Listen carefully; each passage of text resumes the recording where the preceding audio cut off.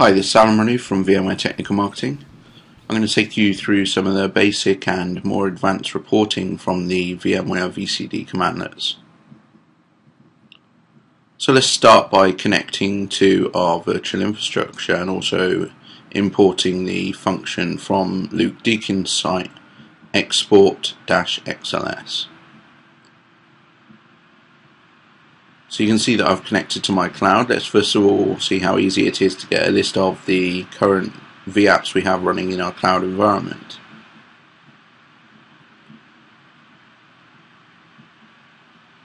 We can see a full list has been returned there. Let's list only the VApps that are owned by a particular user, in this case Coke admin. You can see it's very easy to determine the VApps that are run by a particular user.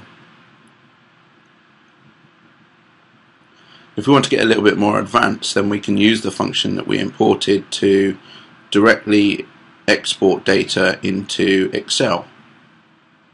Let's take a look at how we might do that.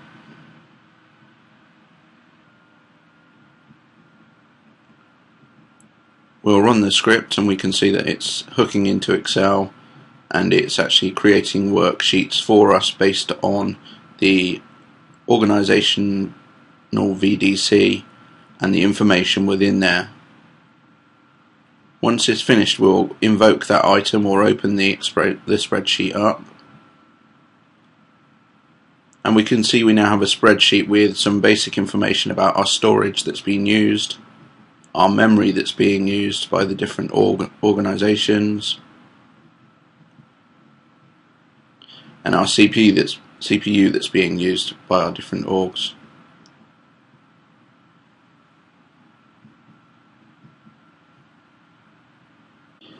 If we are a provider, we can easily look at our organizations and the resources they are using to find potential sales to our tenants.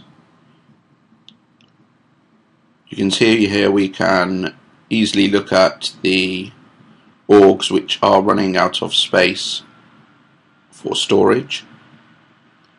We can run a similar script to find the orgs which are running out of space for memory and similarly for compute we can run the same script yet again